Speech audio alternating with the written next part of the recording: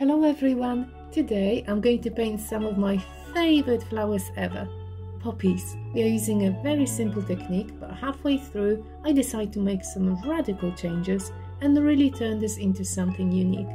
Let me show you how I did it. We've got 40 by 30 canvas today and the color scheme will be quite unusual. I want to go just with warm colors, so we've got scarlet today, crimson, alizarin crimson. This is my own mix of scarlet crimson and a bit of white to create this pinky shade. And cadmium orange plus white and plus yellow, titanium white, Mars black and a bit of gold. As you can see, sort of fiery colors. And I am going to make some poppies because I went for a walk and I saw the smallest poppy in the world. It was probably smaller than my little nail. And I was so cute. And I thought, whoa, it's the poppy season. I haven't done poppies for a long time. And every single time if I revisit the topic, I want to do it in a completely different way. So this is going to be something really not in my style, I would say. So first of all, orange background. Now I know some of you will laugh, but I haven't done poppies for such a long time that I'm actually use the swipe technique. watching my own tutorial how to make a poppy, which is which is hilarious. This is the background color. You can see the consistency. See how nicely it runs off the stick. So we've got one part of paint to roughly one part of Floetrol or even more and one part of water with PVA glue which is my own pouring mix and then I think I sprayed some more water but I mean just just like that to make sure that all the paints are the same consistency.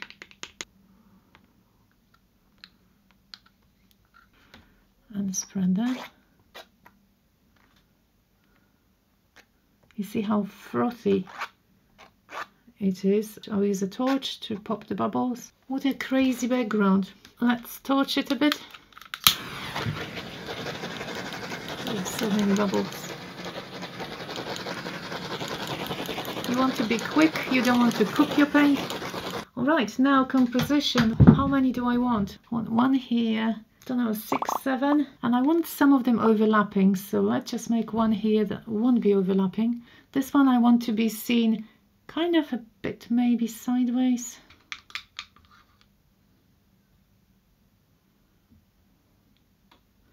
Don't know how big I want it. Maybe not so big. Okay, so that's that. I'm going to go for a little bit of crazy orange as well just put a little bit of crimson here. Sometimes we actually we don't need that many colors you know? And a little bit of gold. And I'm not sure about black here on this one to be honest. The smallest amount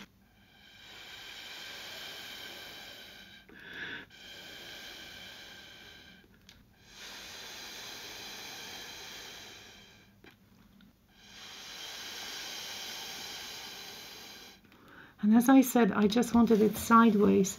So perhaps I should leave it alone. Let's just do one smaller here as well. But this time I'll start with the darker one.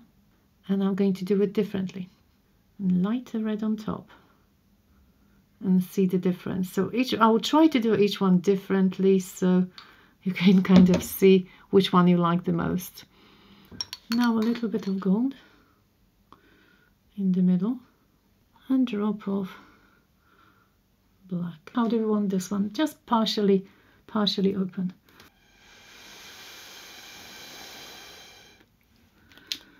Oh, nice. Quite a lot of black. I'm turning because it's more comfortable.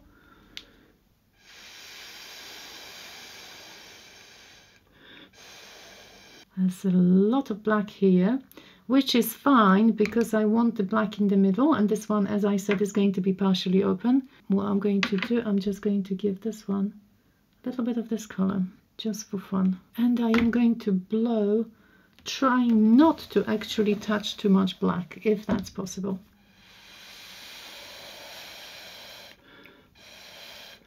It is possible. It is possible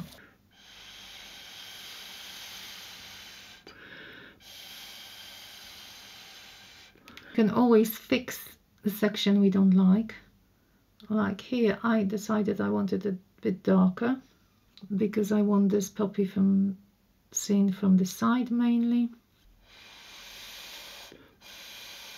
Now I'm happy and I can turn it back. Let's try one somewhere here, a big open one.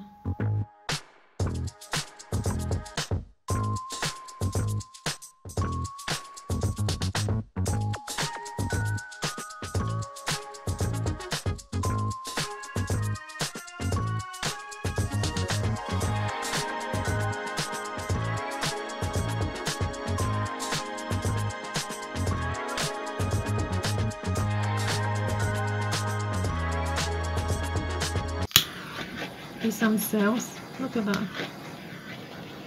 I definitely want one here, but now I'm thinking, do I want it behind or do I want it on top?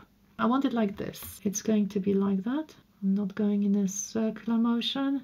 And a very small amount of black because I, I don't want this black really to be seen much. So today it's actually more about how to use a straw blower to get the result you want. That's our tutorial today.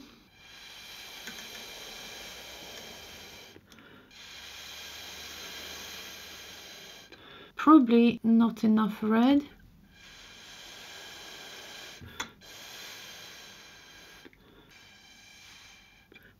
I did wanted those two to be touching so what will I do? I will blow over the big one. So now this one is overlapping on top of that one. And again we could we could perhaps add a little bit of black somewhere here. Uh, now I do want to, them to go off center as well on the side I think that creates some more interest, doesn't it? I think we need to have something coming off the canvas this way now. Be probably a couple more baby poppies in a minute. I think to finish it off we need something here and one coming off this way.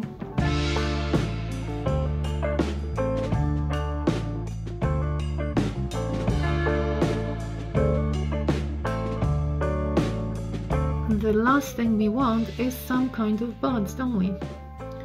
So I am making a little one. Perhaps, uh, where should I go? That's probably enough. With a little bit of darker value in the middle. Not even blowing on these. We want some stems. so nice that everything, you know, it's fixable at the moment. Now, my dear friends, I feel I feel like I'm stuck. I want to change stuff, but I'm not sure what. So how do we overcome an artist block? What I suggest, do something mundane, something you don't have to really think about. So what I'm going to do now, you'll be surprised. You will probably think I'm crazy, but just you wait. I've realized that my main problem is with the background. Even though I do want this crazy color, I want something else. But at the moment, I don't know what I want.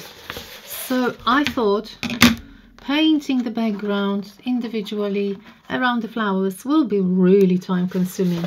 So let's go for something else. Sometimes I just get those quick ideas like oh how about trying this? I just want to cover the poppies as quickly as possible without too much hassle, without painfully outlining every single one, transferring them onto something. So see if I can do it quickly. If I can, that might save some of you some time. This is frisket paper.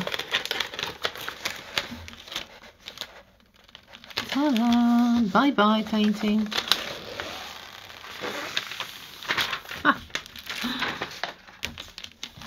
Honestly, sometimes I think I am I'm a bit weird, yes.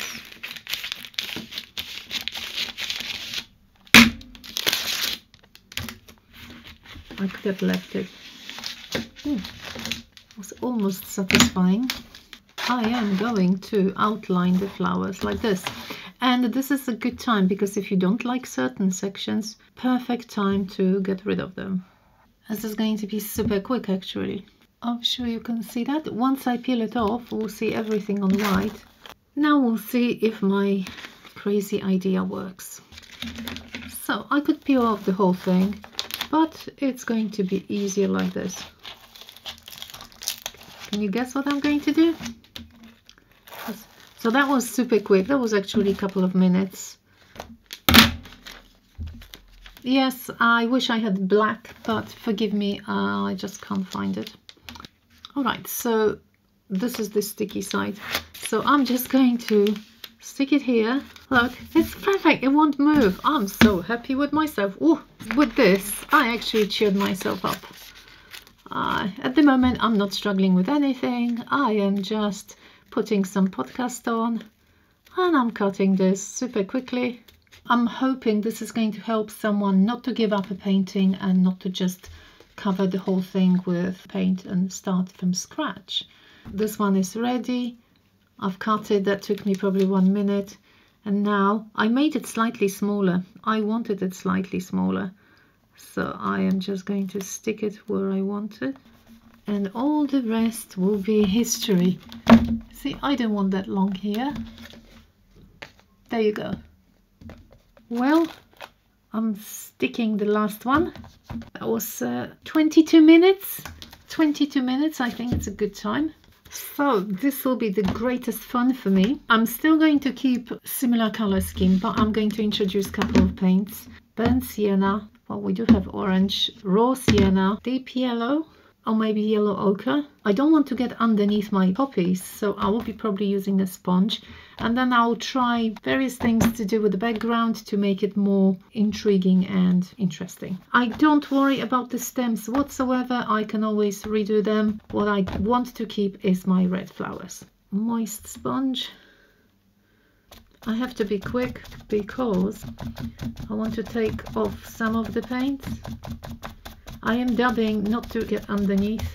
Okay, let's see what happens if we spray it a bit. No, just a little water.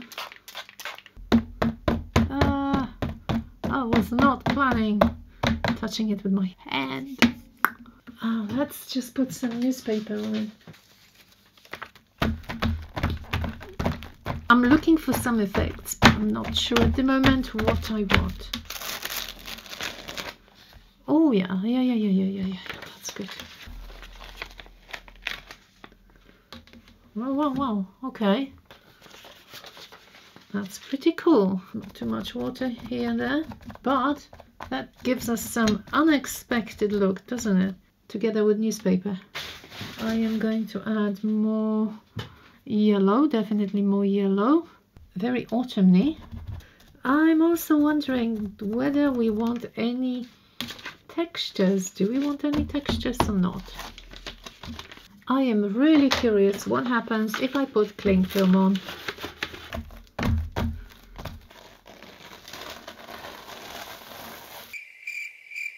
What if instead of the leaves we are going to print something else? And then I came across something most of you loved with my other paintings. This. I've got just a leftover bit. What if I print some texture at the bottom. Shall we go for something darker? Perhaps burnt umber. Need of course newspaper, or something to press on the other side so that my hands won't get completely covered. I'll just start with this one. All right, newspaper. It's somewhere here.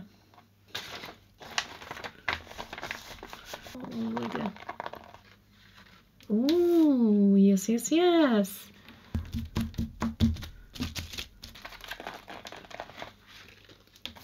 That's lovely.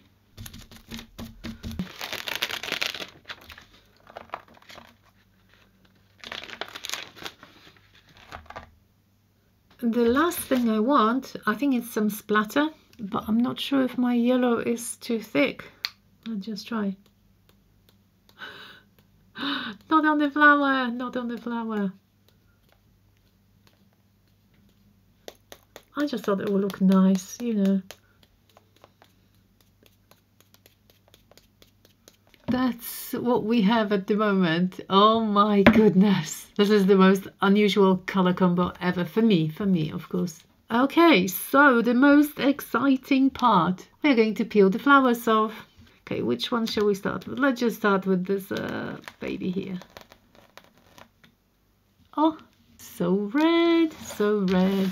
This one doesn't need a pin. This is so satisfying. Yeah, look at the color. How pretty. I forgot. It was so vibrant. Oh, how silly. I can just get excited about every tiny little little thing. But art excites me, you know? Oh, pretty, pretty. It actually does come off and easily. And you see, because I actually added color to some of the sections that I didn't like, I'm getting slightly altered shapes, which I am very happy about. Oh, I love the background with those colors now. You know when you make a decision and you're not sure whether it's going to work, what a, what a relief if you like it. Before I couldn't really see that they were so red. Now with this background, darker and lighter, we can actually see the flowers so well. Last one.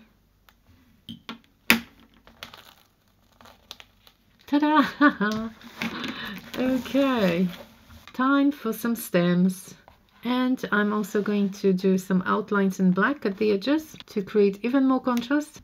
Just like that. That will make them stand out more. So recreating the stems, now I can, if I want to, I can make them slightly different. I think we can just add a couple of little drops of paint, just like that. I think that will look better than the gold leaf.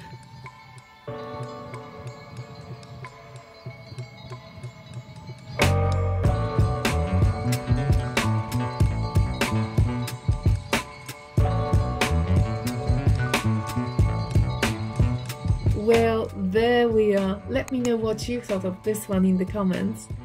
I have to say, at some point, I was really struggling trying to decide what to do with the background. I hope you've learned something from my process. If you would like to help support the channel, consider checking out my Patreon where you can find extended versions of my tutorials or my website where you can find this original piece for sale. I hope you have a wonderful week and I'll see you on next Saturday. Thank you so much for watching. Bye bye.